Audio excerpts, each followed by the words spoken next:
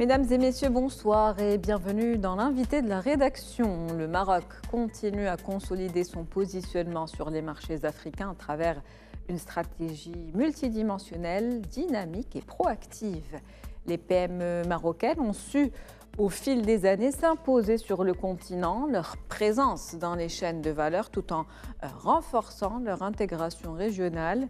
Le Maroc se place d'ailleurs aujourd'hui comme étant le premier investisseur en Afrique de l'Ouest et deuxième investisseur euh, en Afrique subsaharienne, donc l'un des principaux investisseurs sur le continent. Investissement marocain en Afrique, quels sont les enjeux, quels sont euh, les facteurs clés de réussite des PME marocaines en Afrique subsaharienne? Et euh, quels défis font-elles face? C'est le sujet de ce soir. Et avec nous pour en parler, M. Mohamed Ben vous êtes euh, économiste, donc spécialiste des questions géoéconomiques en euh, relation avec euh, l'Afrique. Bonsoir. Oui, bonsoir. Merci pour l'invitation. Merci de l'avoir accepté. Nous allons donc parler des PME marocaines, des PME marocaines installées sur le continent africain.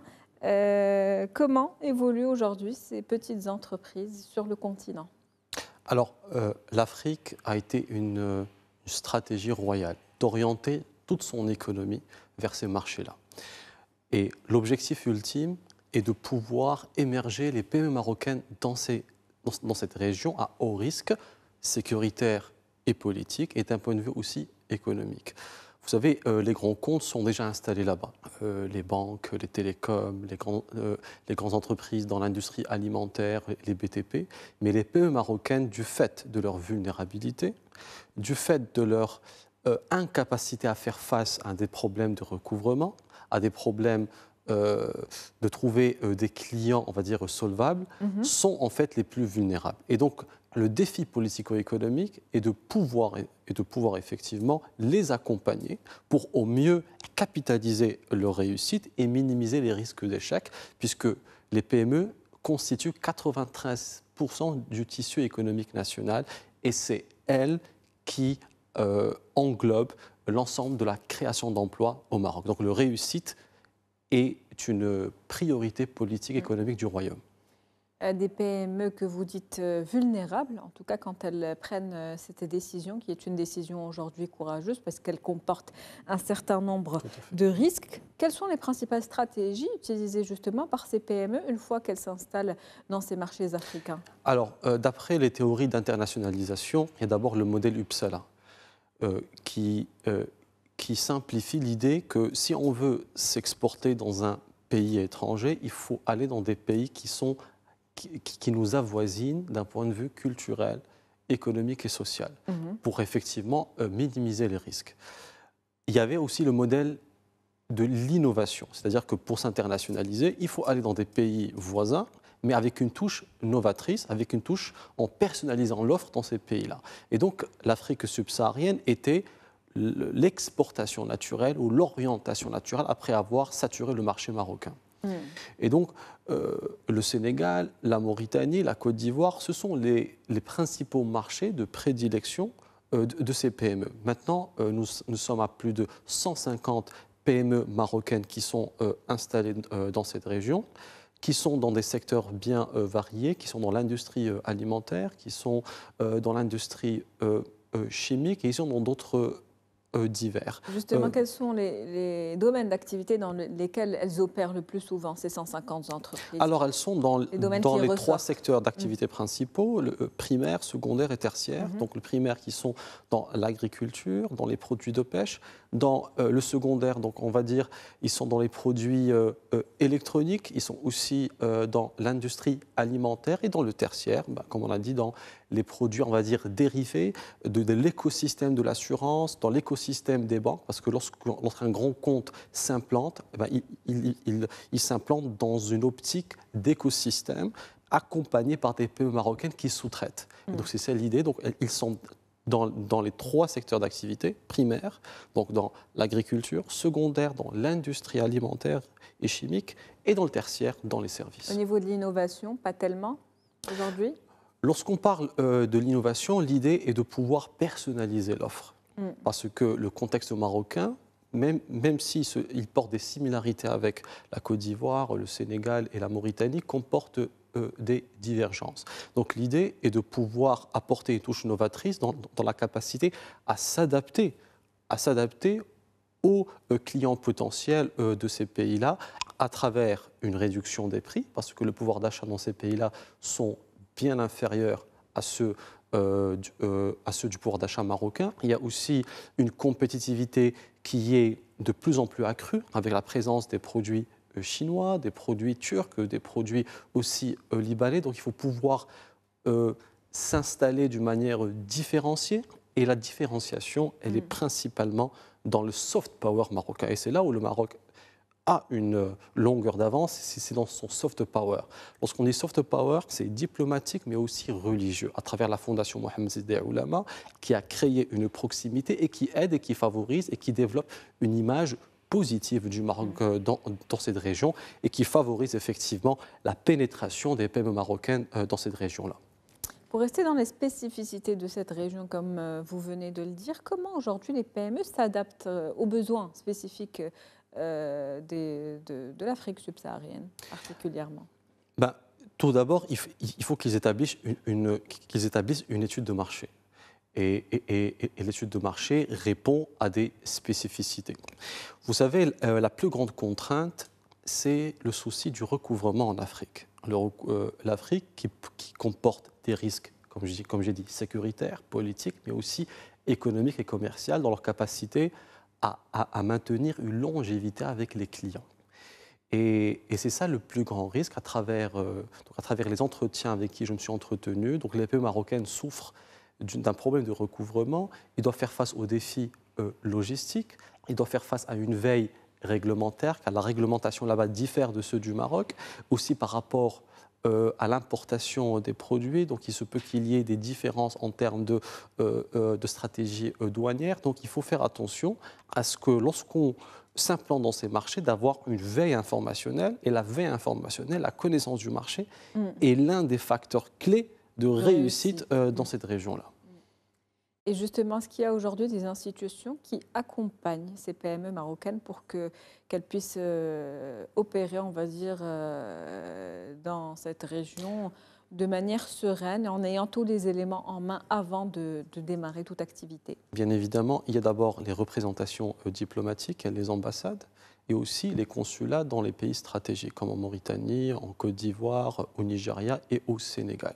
Deuxièmement, il y a l'AMDE, qui est chargé d'accompagner les PME marocaines dans ces régions-là à travers des foires, à travers des présences dans les salons et aussi à travers l'organisation des missions B2B. Donc en le, mettant en relation avec des clients potentiels. Et l'idée, c'est vraiment que ces, PME, que ces PME marocaines connaissant leur vulnérabilité, qu'elles soient accompagnées soit par des grands comptes marocains qui sont là pour les protéger, mais, le plus important, est qu'elles soient accompagnées par des institutions publiques qui sont là et qui représentent des garanties en cas d'échec ou, en cas de... Quel genre de garantie, par exemple? Ben, Ils peuvent effectivement, si jamais un client ne paye pas, hein, hmm. et ce qui est très souvent là-bas, que, que les institutions publiques puissent effectivement amortir le choc du non-recouvrement pour qu'ils puissent se pérenniser et s'installer dans la durabilité. Car en Afrique, euh, effectivement, les marchés sont potentiels, il y a une grande potentialité de croissance, euh, des, croissances à plus de deux chiffres, surtout en Côte d'Ivoire, au Sénégal et, au Nigeria. Mais le plus important est de pouvoir s'installer sur le long terme pour avoir une rentabilité.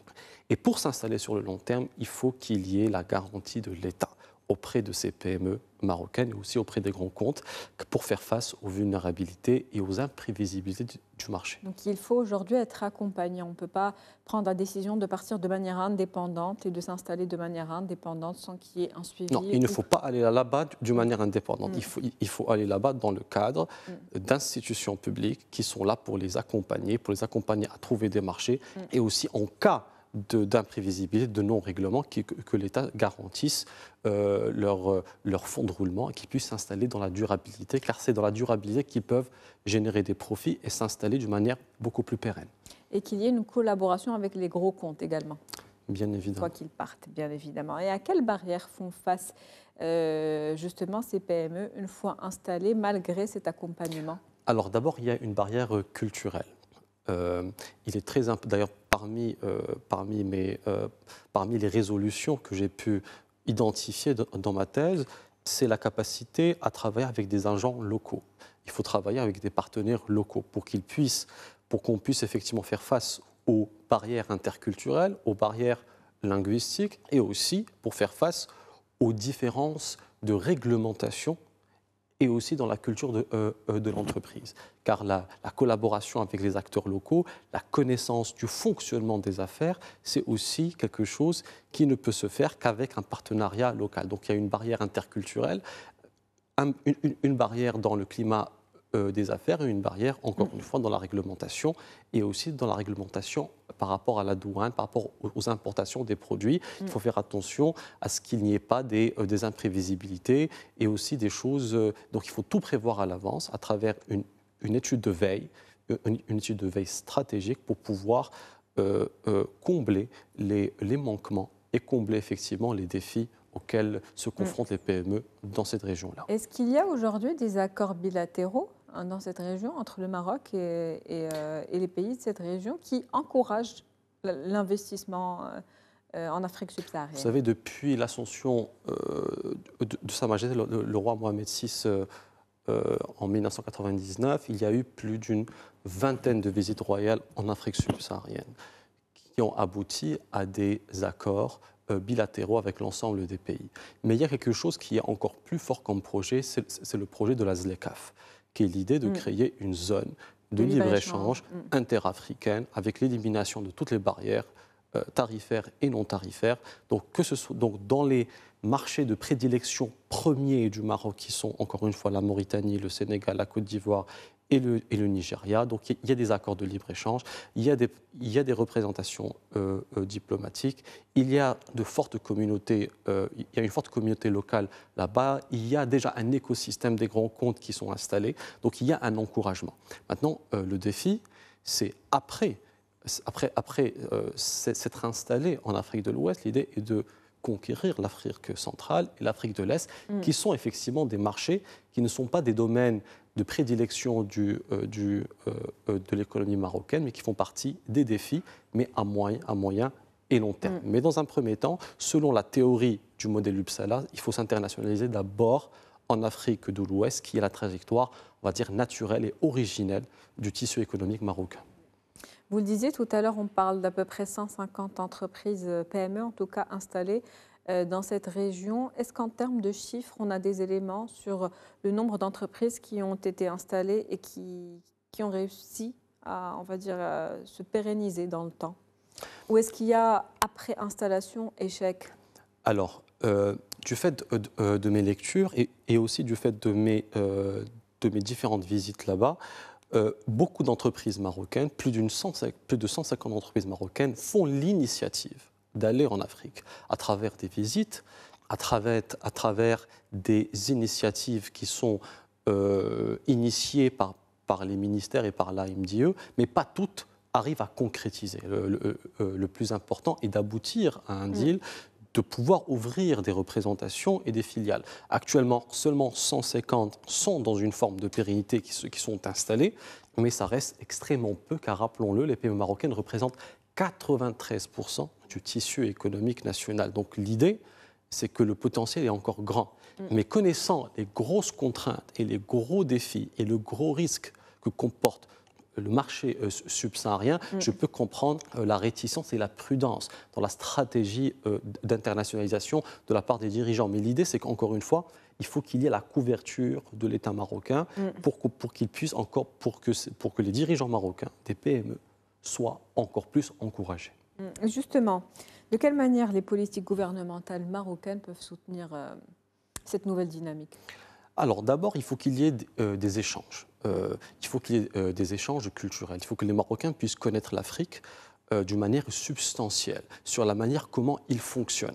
Mm. Car fonctionner au Maroc reste différent de ce en, en, Afrique. Donc il faut qu'il y ait des échanges culturels, des échanges universitaires, mais également, il faut qu'il y ait des visites, des visites qui, doivent se faire d'une manière beaucoup plus courante, une, présence à travers des foires, à travers des salons et des rencontres personnalisées. Mm. Et c'est à, travers, à travers cette initiative première qu'on pourrait nous acheminer vers des réussites économiques là-bas. Mais la deuxième, qui est encore plus forte, c'est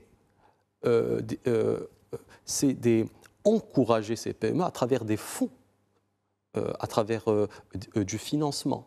C'est-à-dire que pour s'installer là-bas, ouvrir une filiale, ouvrir des bureaux de représentation, cela exige des fonds. Donc il faut que les banques puissent elles-mêmes jouer le rôle de locomotive au financement et au développement.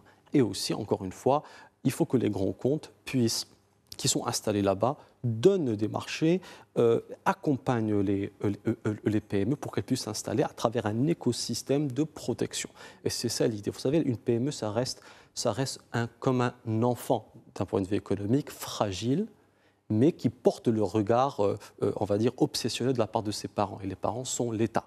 Donc l'enfant doit être nourri, doit être protégé, doit être éduqué, et il, doit être surtout qu'on le booste dans ses retranchements et qu'il puisse sortir de sa zone de confort. Et la zone de confort, c'est de s'installer dans ces pays-là où les, les, grands pays, que ce soit la Chine, l'Union européenne, les États-Unis, la Russie, euh, la Turquie, sont, sont installés là-bas à travers leurs PME et qui font et qui mettent le paquet d'un point de vue risque et d'un point de vue point de vue de la couverture de ces PME. Vous l'avez dit donc le plus important c'est une garantie euh, pour ces entreprises en cas, en tout cas, euh, de pépins comme ça. Euh, le fonds de roulement est là et on peut continuer à aller de l'avant et arriver vers cette pérennité et à créer cet écosystème dont vous parlez. Tout à fait. Et justement, aujourd'hui, quand on parle des PME marocaines qui sont déjà installées en Afrique subsaharienne, quels sont les facteurs clés de réussite? Qu'est-ce qui fait que ces entreprises se distinguent par rapport à la concurrence? Alors, il faut d'abord qu'elles aient des ressources, des ressources euh, tangibles et intangibles, des ressources économiques, à travers la capacité à réaliser euh, de l'économie d'échelle pour pouvoir euh, générer des bénéfices. Le, deuxième facteur clé de succès, c'est la connaissance du marché. Il faut une vraie veille stratégique, une vraie étude du marché et aussi la capacité à collaborer avec le bon partenaire local et aussi une relation étroite avec les autorités de ces pays-là qui, seront là pour les accompagner, pour les conseiller, pour mieux les orienter et aussi pour, euh, pour les orienter sur les pièges à éviter, sur les risques à éviter, pour qu'il y ait une, connaissance vraiment pointue liée aux spécificités de ces marchés-là. Et aussi une offre personnalisée à travers de l'innovation. On ne peut se distinguer qu'à travers une offre novatrice qui, euh, euh, qui répond aux besoins du marché et qui pourrait s'installer sur le long terme. Et cela, il faut vraiment qu'il y ait de la recherche et développement qui soit mise en place en proposant un produit qui répond aux besoins présents, mais surtout aux besoins futurs pour pouvoir s'installer sur le long terme. Donc en bref, c'est euh, les ressources tangibles et intangibles, la connaissance du marché, euh, un partenariat local euh, important et de l'innovation, de la personnalisation de l'offre et, une relation aussi avec les autorités pour qu'il y ait une meilleure orientation. Et quelles sont les perspectives d'évolution de ces entreprises aujourd'hui déjà présentes? Alors, euh, ces entreprises-là, elles restent euh, récentes, euh, parce que la stratégie royale, elle est récente. Donc cette multiplication de ces PME-là, elles n'ont été observées que, que, dire, que, durant ces 5 ou 10 dernières années. Donc il y a encore une potentialité de croissance dans, nos marchés de préférence, comme j'ai mhm. dit, la Mauritanie, le Sénégal, la Côte d'Ivoire et le Nigeria. Le but est de pouvoir d'abord s'installer, avoir un leadership au niveau régional, euh, euh, au niveau de l'Afrique de l'Ouest, et pourquoi pas, à partir de ça, euh, s'acheminer vers d'autres marchés, qui est l'Afrique centrale, l'Afrique de l'Est, qui sont aussi des marchés à très haut potentiel euh, de développement. Je pense à l'Éthiopie, je pense au Kenya, à la République démocratique du Congo, euh, au Cameroun, au Gabon, qui, sont aussi des, marchés à haut potentiel. Mais encore une fois, il faut être dans, une logique behavioriste d'internationalisation graduelle. Et donc l'internationalisation graduelle ne peut se faire qu'en commençant par l'Afrique de l'Ouest et finir vers l'Afrique de l'Est et pourquoi pas aller vers l'Asie par, la suite. Par la suite, euh, pourquoi pas, euh, ce serait, sympathique. En tout cas, c'est ce qui est prévu, je, l'espère en tout cas. Euh, quand vous parlez d'internationalisation, ça revient à parler également de la marque Maroc et du label Maroc. Quel poids aujourd'hui ce label Maroc a-t-il au niveau international Oui, donc comme j'ai dit, le, le Maroc actuellement, et, et Dieu merci, jouit d'une bonne image en Afrique à travers le soft power marocain, qui est initié par Sa Majesté le roi Mohamed VI, à travers sa diplomatie religieuse, à travers la fondation Mohamed VI pour les ulama, qui crée vraiment qui est dans une optique inclusive d'un point de vue euh, culturel et religieux. Donc c'est quelque chose qui est très important. Et aussi la communauté locale marocaine là-bas, euh, qui est installée depuis de longues années, depuis euh, des décennies, et qui est en parfaite harmonie avec les communautés locales.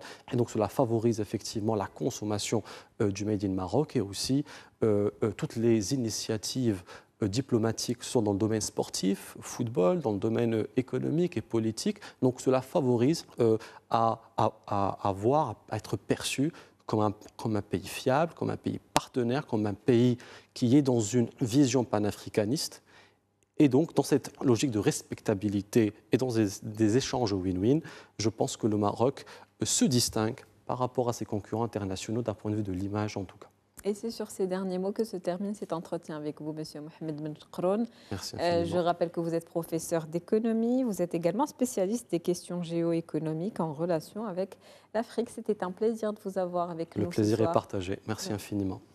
C'est la fin d'invité de la rédaction pour ce soir. Merci pour votre fidélité. On se retrouve demain avec un nouvel invité. Très bonne soirée.